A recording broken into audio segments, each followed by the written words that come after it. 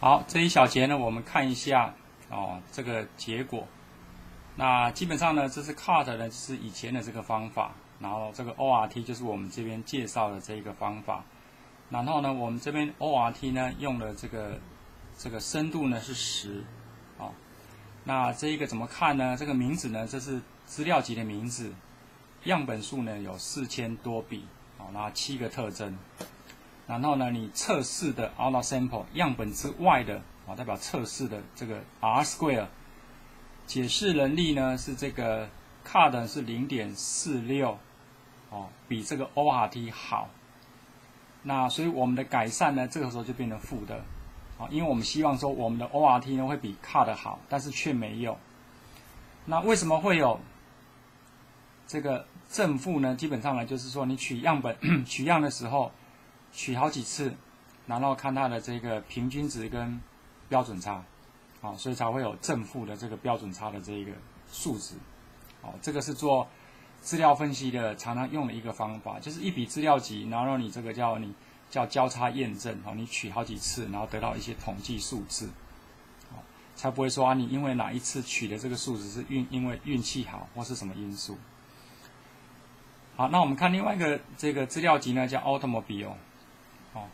在 card 是零点五八一，哦，ORT 呢是零点五九，所以它有增加了零点零零九的，好解释能力。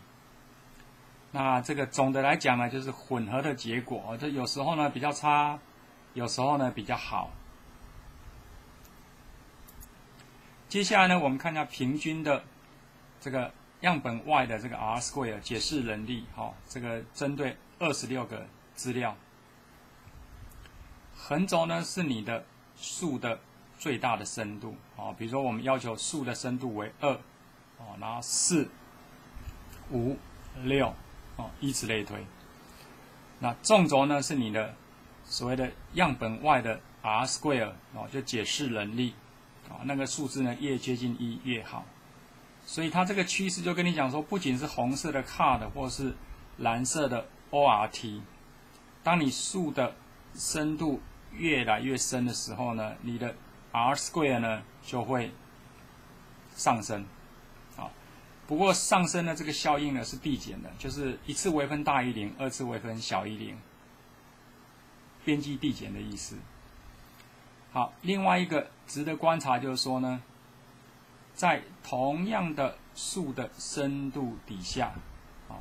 你看二十六笔资料的 R square 的平均值。那这一个呢，ORT 呢好一点点，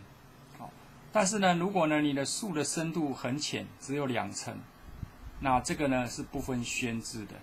好，那当你树的深度变大的时候呢，